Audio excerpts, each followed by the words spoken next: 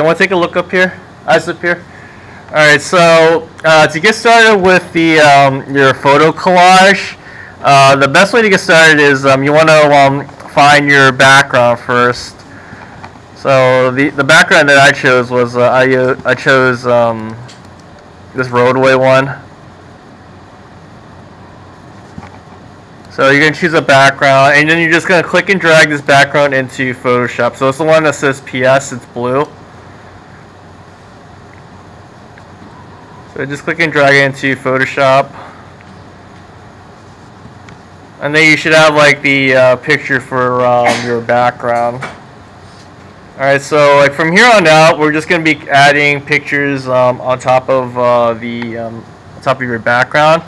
And um, just give you like a little introduction in um, Photoshop, uh, uh, some of these, the, the, way it's designed is very similar to the Illustrator. You have like your layers over here except um, unlike the um, unlike Illustrator, where um, everything that you add to the picture, it's it usually hides um, within the um, the layer one.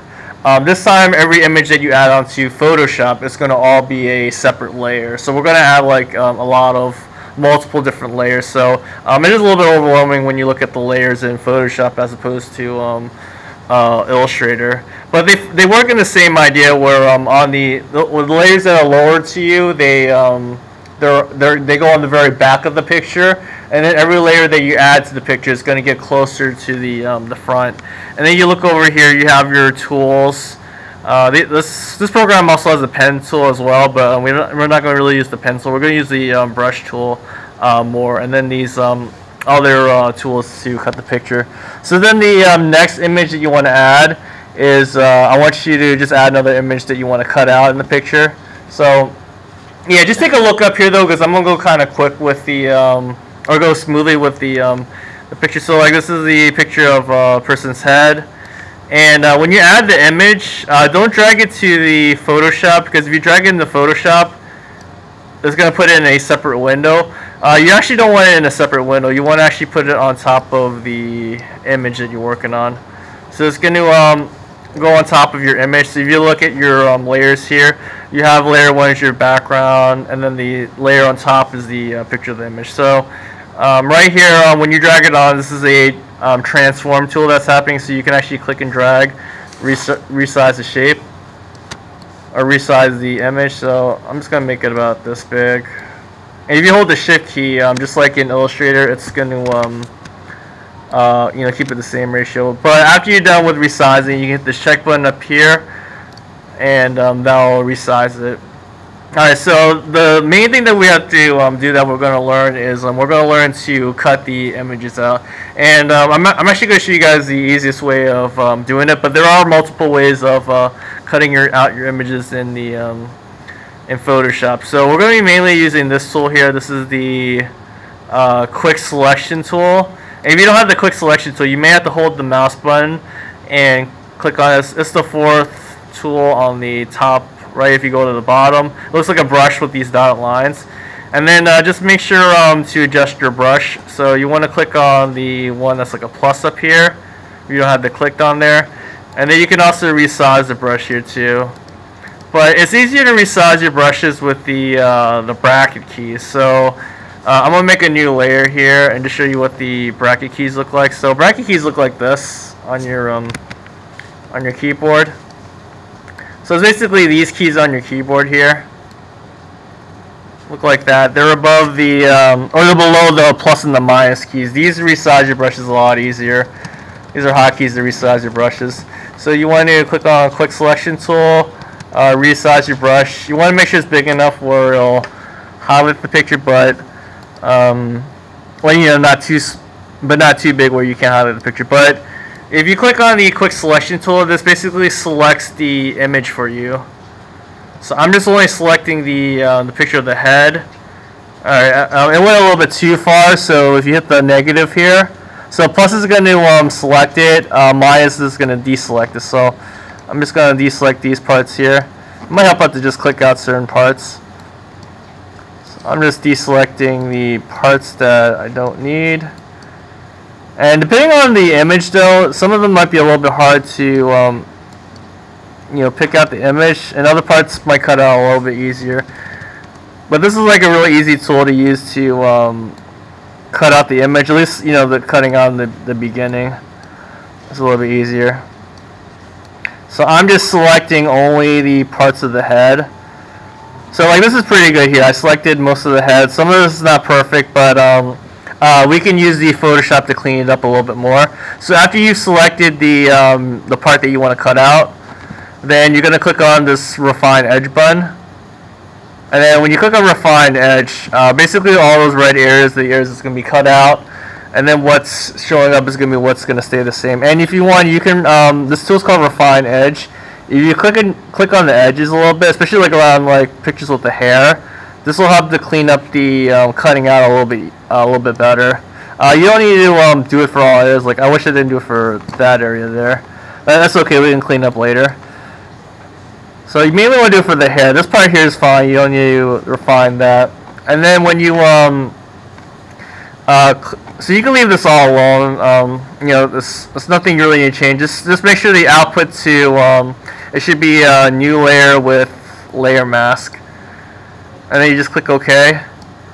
And then basically this cuts out your image here uh, for you. Alright, now if you if you zoom in real closely, now some of the parts didn't cut out perfectly, like right here there's a little bit of that white. So if you click on this box here next to your picture, so if you look at your layers here actually, um, this is the original image that you used here. You can delete this image, you don't need it no more. I made a copy of the image uh, on the top. This is the uh, layer with the um, uh, the picture of the the guy here. All right, so if you click on the eyeball, this is uh, yeah, it just shows you what's in that layer. And just make sure to click on the black and white box. This is called the um, the layer mask box. So um, with the layer mask, what that does is this allows you to erase the image. So if you look at your, um, you want to click on the brush and just change this to um, 100 opacity. Some of you may have it set on 30, but you know just change it to 100 for this part. And then the black, what the black does, if you click on black, this is going to erase the uh, the picture for you. So I would just pick the fuzzy brush here. This is like the fuzzy brush. This was a hard edge brush. And you know, just use this to clean up the edges a little bit more. Well, you shouldn't need to clean too much on the picture. If, if um, the quick selection tool did it real well, then there's not really much you need to clean up. Uh, but, you know, let's just say um, you completely mess up on the picture. Like, you know, let's just say I accidentally erased the guy's head out like that. So if, if you did that by accident, you can actually click on the white and that'll bring back the picture. And if you even wanted to bring back some of that background, you can use that to bring back the background. But this is a very nice tool to use just in case you mess up with the erasing because um, uh, you know another way you can do it too is if you click on the image use the eraser you can use that to erase the background out as well but if you do it that way though it's you can't fix it though if you mess up so you really have to be really careful with that um, but Another tool you can use too is if you go to Windows, um, click on the History panel. You might want to leave this open, the History panel. This shows you all the um, different things that you did. So if you want to undo your mistakes, you can click on the top here and now undo your mistakes. But um, unlike the um, Illustrator, um, Photoshop only um, does does the undo only uh, I think 15 or 20 times. And I think like Illustrator does it like for like a lot more time. So you just want to be really careful with um, you know doing too many things at once or um, erasing the picture. All right, and then if for some reason if you're trying to use a layer mask, to um, you know erase the picture, um, you know you might end up clicking on this part here and make your picture um, black. So if your picture goes black like that, then uh, you, uh, just just be real careful with that. You know, don't, make it black. Go to history, undo. If you made it black, and just make sure to click on here if you um, you know if you want to erase the picture or if you want to erase that picture here. So like, if you want to like really creative things, like one of the ideas that we looked at, um, you know, they erase like the top of the head here. Uh, maybe you might want to use a hard edge brush. So this is where you might want to change the brushes up a little bit. And you know, I'm just going to erase like maybe the top of the head here.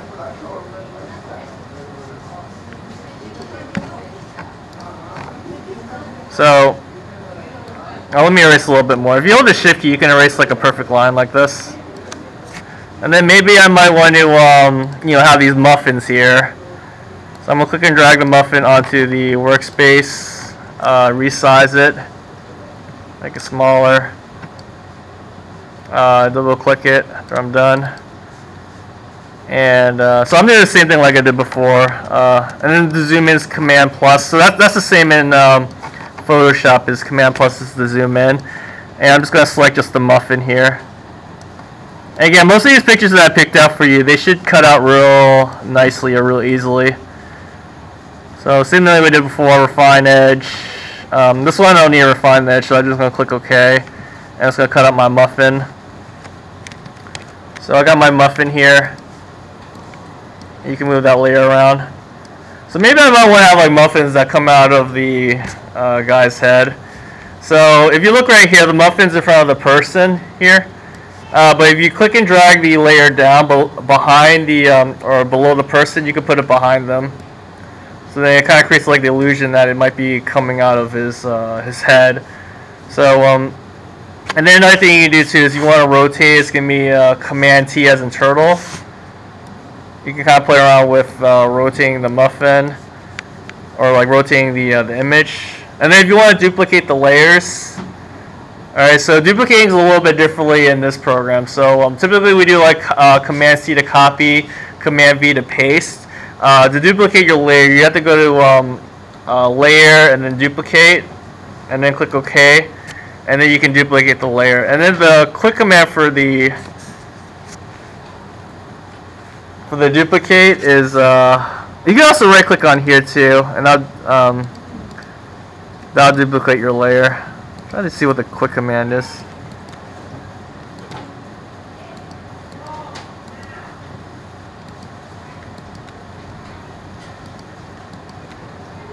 That's delete layer mask.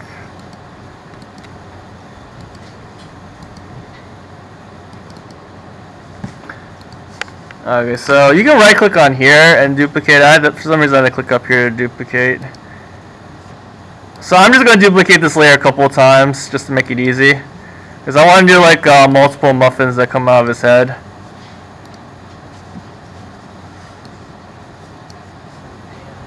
Alright, so I'm just going to uh, click on the layers. So if you take a look at my layers, alright guys, take a look at the layers up here.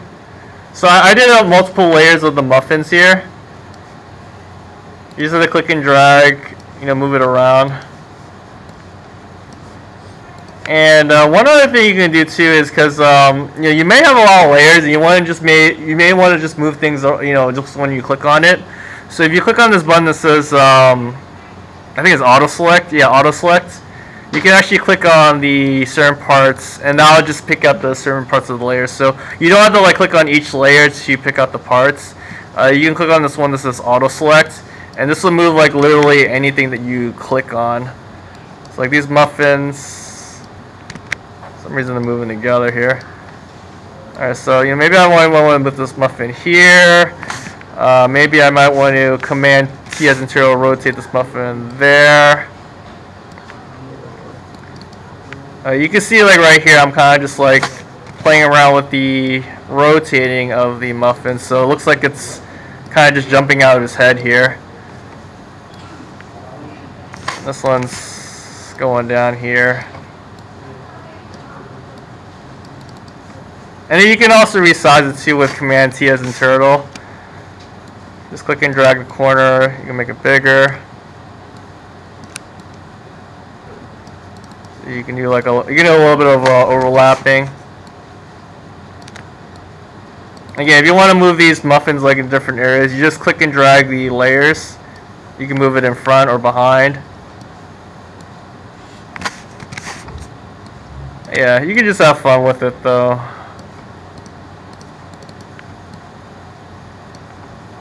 Alright, this one I want to move on the behind those other ones. Alright. So, you guys got any questions? Questions? Alright, let me